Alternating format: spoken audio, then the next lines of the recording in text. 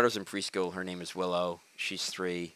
Um, and every every Tuesday they get a book from the library and they have to return it the next Thursday. Today's Wednesday, so I wanted to make sure that I got a chance to show you this before um, before it has to go back, right? Because I don't want to be late.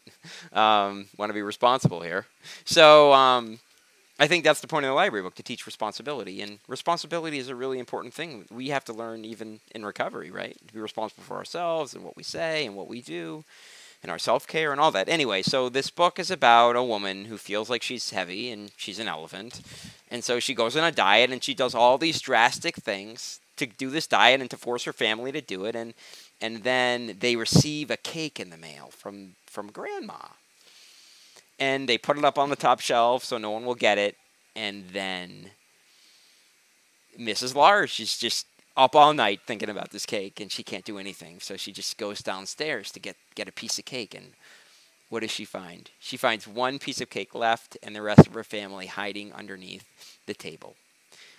Um, you know, and, you know, they might think this is a cute little story about eating healthy and things like that, but I don't think it's cute. I think this is serious.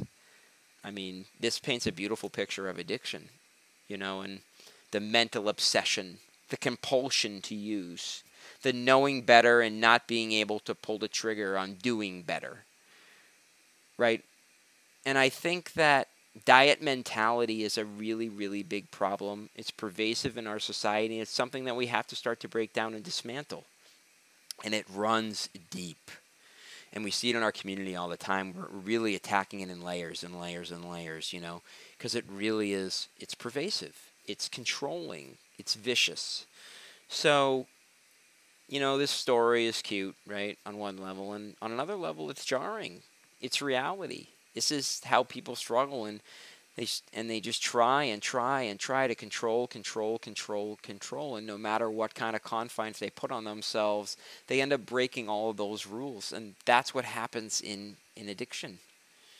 You know, and and with the substance or without the substance, it, it can create a very disruptive life. Um, so I wanted to take an opportunity to talk to you a little bit about diet mentality.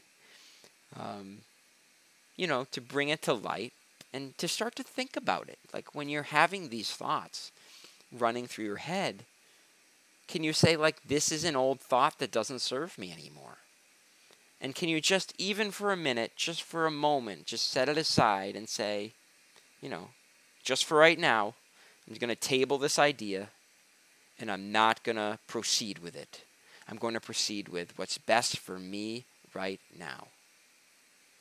Diet mentality is destructive, it's disruptive, it's violent, it annihilates us, it limits our ability to take care of ourselves. And that's what recovery is about. It's about taking care of yourself. So, thank you for indulging me in A Piece of Cake by Jill Murphy, which, for all extensive purposes, is a nice little book but I think its message is harmful to food addicts and other people with the disease of addiction. And it is disease. And you can recover. You can break away from diet mentality. You can learn to think and act differently. But it's going to take a little bit of work. But we're here to help.